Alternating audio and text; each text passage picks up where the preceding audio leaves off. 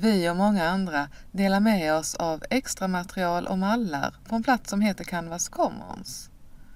Det materialet kan du hämta och kanske ha nytta av.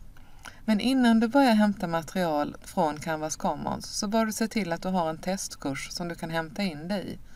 För du kan inte se exakt vad det är du får när du hämtar från Canvas Commons. Så det är kanske inte så bra att hämta det till en kurs som är igång. Jag har gjort mig en testkurs och så går jag in på Commons. Och allra första gången du går in här så kommer det att komma upp en ruta att du ska godkänna Commons för det är ett tillägg till Canvas. Och här hittar du tusentals publika resurser som du kan hämta hem till din kurs. Du kan också söka till exempel efter ett ämne som intresserar dig och ett tips är att söka på engelska för det allra mesta som delas är på engelska. Eller om du söker efter material från Högskolan Kristianstad så skriv Kristianstad eller bara HKR.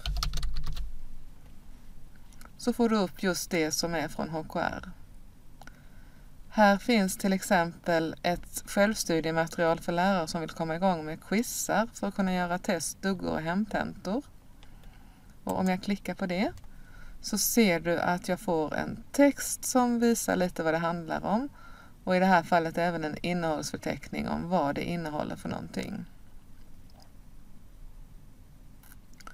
Och för att hämta det då så gäller det att hitta testkursen här uppe. Så markerar du den testkurs du vill hämta till och väljer importera till kurs.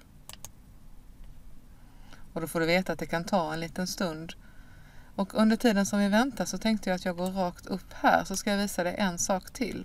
Och det är att här uppe så står det uppdateringar 0 på mig just nu. Och det är så att om du har hämtat ett material som har fått en uppdatering så kommer det att stå uppdateringar 1 till exempel här uppe. Så det kan vara en bra idé att lite då och då gå in på Commons och se om det finns några uppdateringar till ett material som du har hämtat och använder. Men nu skulle jag tro att det är klart så jag tar och hoppar till min testkurs. Min testiga kurs har vi här. Och ja, nu har jag fått in det här materialet i min testkurs. Och nu kan jag lära mig allt om att göra test och hemtentor och enkäter.